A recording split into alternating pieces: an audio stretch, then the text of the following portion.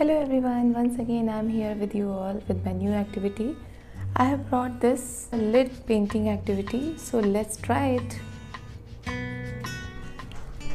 First of all, we need this tree where we will create our blossom tree. So I have prepared it with brown color. You also prepare it, then start your activity.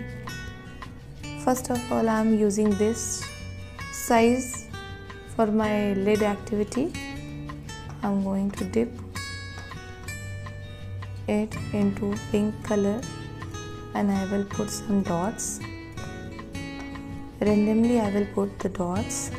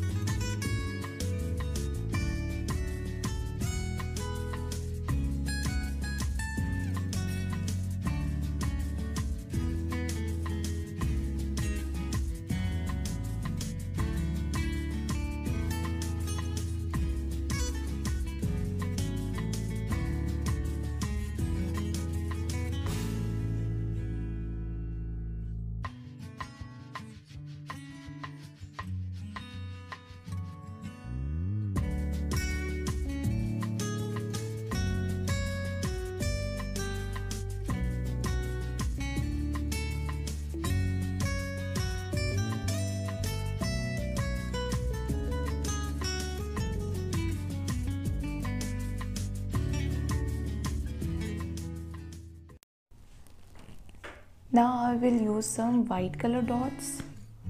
So I'm using different size lid for it.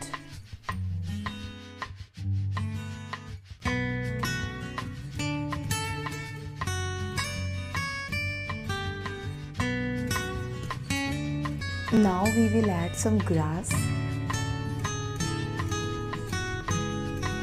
on the ground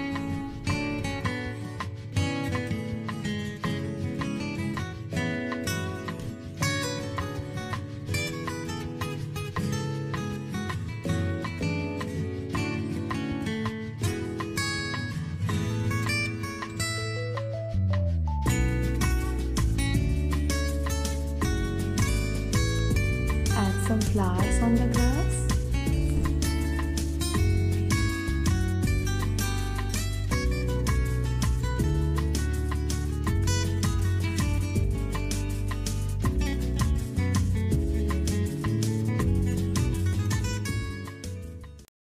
So you all have learned very easy and quick trick of this painting. Our painting is ready. Hope you have liked my video. If you have liked it, just share and subscribe my channel. Thanks for watching.